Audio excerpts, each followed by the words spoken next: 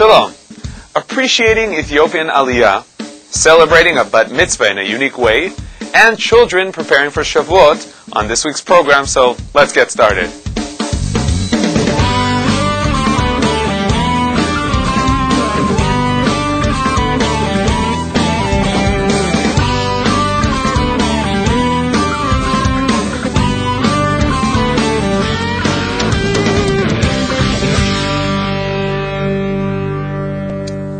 Shalom and welcome to Israeli Salad. In many cases, Jewish boys and girls start getting involved in banking and savings when they reach the age of bar or bat mitzvah.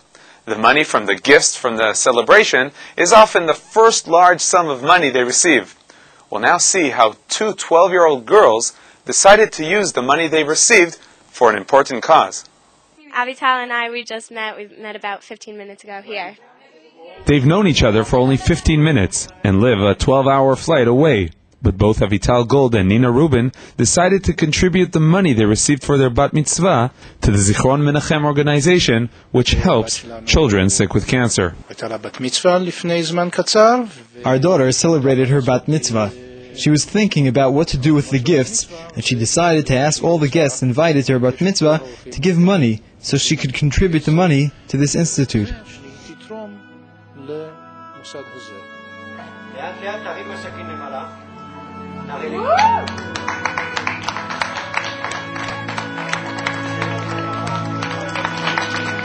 The money donated by Nina and Avital went to purchasing a video system in benefit of the Zichron Menachem children. It's nice to see that they're using what we did, and it's nice to see something that we donated that they like. The new video system is added to the many activities and attractions in the Zichron Menachem Center, where you can find almost anything that can help the sick children.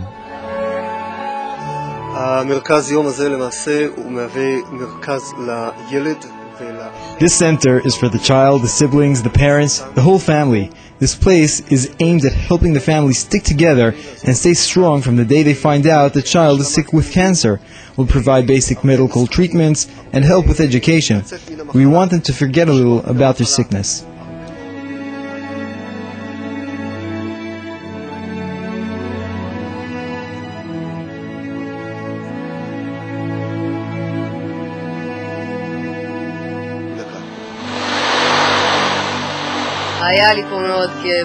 I had a lot of fun. It's always fun, every time I come.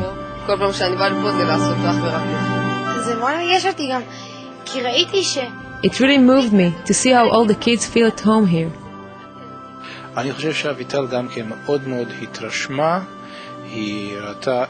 Avital saw how children who were taken away from their childhood get their childhood back in the center.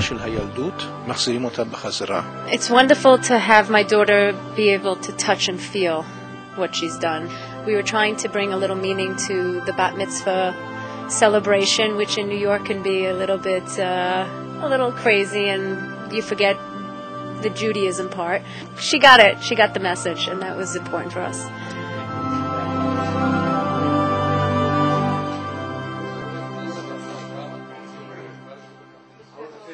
The Ethiopian community in Israel contributes to Israeli society in many ways, but not many know of the difficult sacrifice made by these people in their efforts to reach the land of Israel. May God remember his sons and daughters of the Jews of Ethiopia who lost their lives in their effort to immigrate to Israel. Israel shall remember them and be blessed through their children.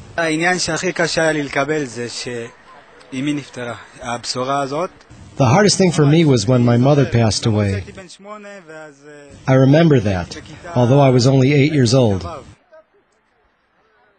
Milako Asher Eileen lost a father, a mother, a grandfather, and a grandmother on the way to Jerusalem, the city that his family dreamt about for more than 2,000 years. There are almost no families in the Ethiopian community that didn't lose family members on the way to the Promised Land. Some were killed by roadside bandits, and others died from disease in Sudan. On the way here in Sudan, my mother, her husband, and two young brothers passed away. There are nights I don't sleep. There are nights when I cry all night. I have no mother, no one to come to, no one to hug.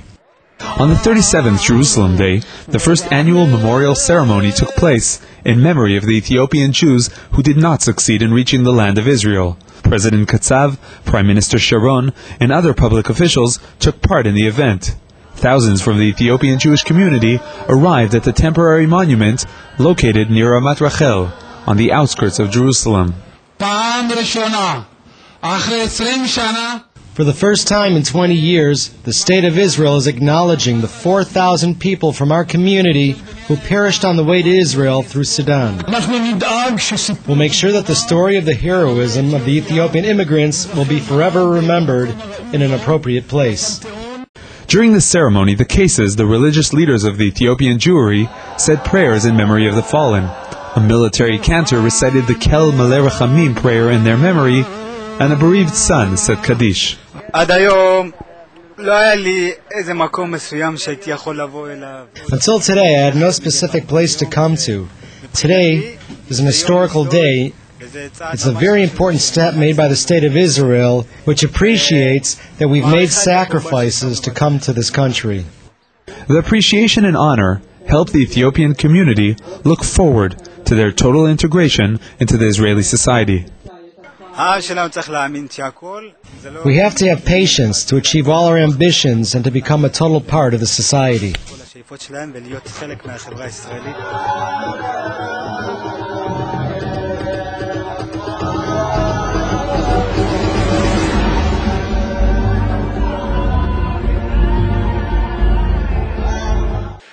On Wednesday, the 6th of the month of Sivan, May 26th, we celebrated the festival of Shavuot. Before we go over to Rabbi Samson to discuss the festival, which commemorates our receiving of the Torah, let's take a look at a unique event where parents and children filled a Tel Aviv stadium to show their connection to the Torah. The location, Yad Eliyahu Stadium in Tel Aviv. The date, four days before the Shavuot festival. Thousands swarmed the stadium, filling all the chairs, filled with excitement to be at this spectacular event.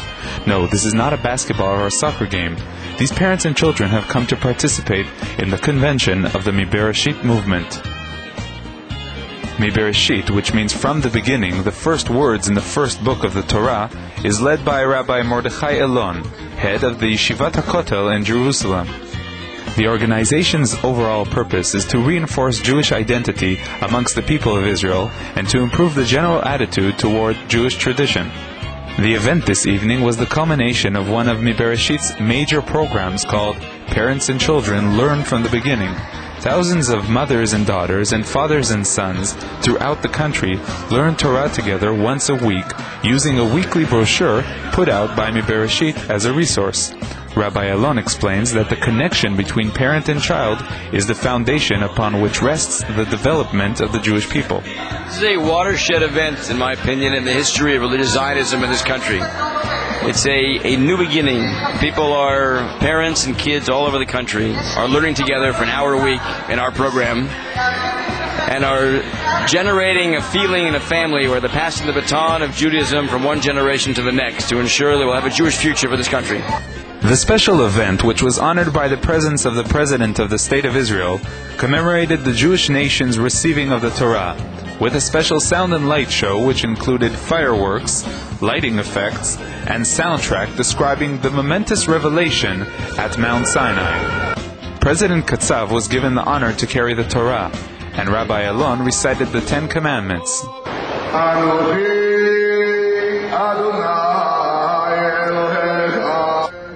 The Cohen family from Gush Katif, whose children were severely injured in a terror incident, were on the stage as well, in an expression of admiration to the bravery of the Israeli people.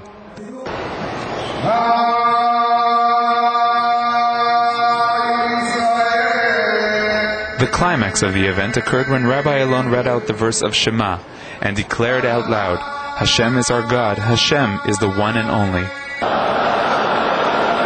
Thousands of young and old voices were heard answering, crying out the verse in excitement and emotion.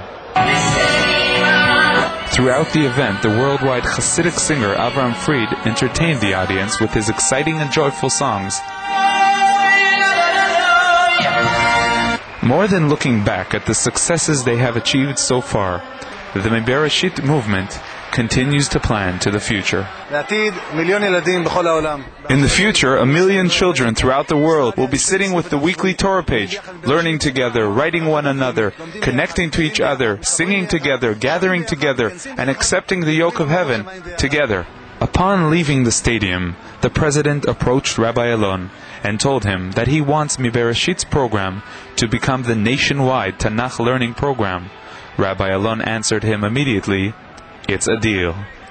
בעזרת השם, הדרך, the way that we will come to לשנה הבאה בירושלים הבנויה is that all of us together we learn together, הורים וילדים, parents and children, יהודים ויהודים, Jews and Jews together, everywhere, every place, every time, with our one Torah and with our one עם, כאיש אחד, בלב אחד, נקבל את התורה ולשנה הבאה כולנו, כולנו, כולנו בירושלים הבנויה, בעזרת השם.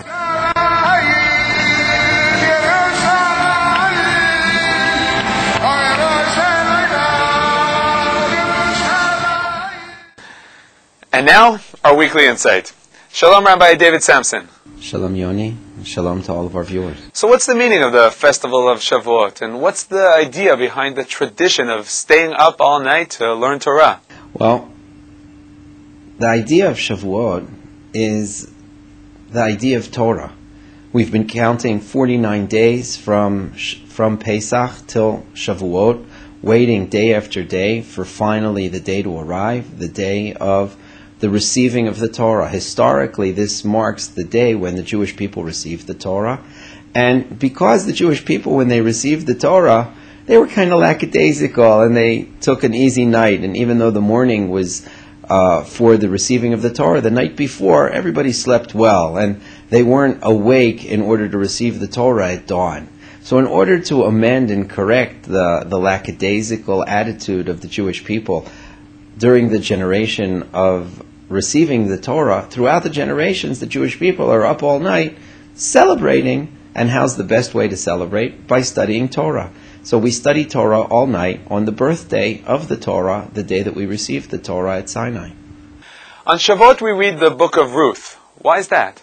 Shavuot, aside from being the birthday of the Torah, is also the birthday of King David, who is the founder of the kingdom in Israel, of Israel. And he was born on Shavuot. To commemorate the fact that he was born, we read the Megillah of Ruth, which talks about the lineage of King David. It wasn't at all clear that King David was allowed to be king and that he was actually Jewish because his lineage was from Moab, and it wasn't clear at that time that it was possible to accept converts from Moab. And Samuel the prophet is the one who stated that it is permissible to have a convert woman, even though a convert man is prohibited from the tribe of Moab. And as a result, he wrote the Megillah of Ruth in order to give King David a kind of book of pedigree so that the Jewish people will be able to prize themselves in the pedigree of their king. Thank you very much, Rabbi Samson. The Weekly Insight is brought to you in cooperation with Machon Meir, the largest Zionist institute in Israel, bringing people closer to Judaism. Before we leave, I'd like to thank all those who've sent us emails. Your comments, ideas, feedback, and support help us bring you what you want to see. So keep them coming. That's all for this week. Join us again next week for another program. Until then, from all of us here at Israel National TV, Shalom.